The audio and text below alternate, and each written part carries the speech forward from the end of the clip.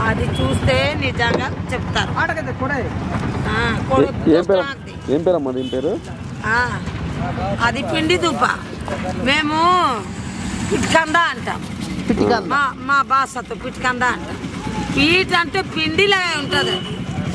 ఏ అబ్బాయా నిజంగా ఎక్కడ దొరకదు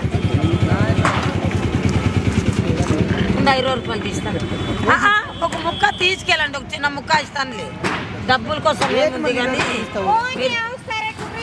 వెళ్ళి బోని వెళ్ళి బోని ఒక ముక్క చిన్న ముక్కకి యాభై ఇచ్చాను బోని అంటే కొన్ని వాళ్ళ దేశంలో లేదు కదా తీసుకెళ్ళి తిని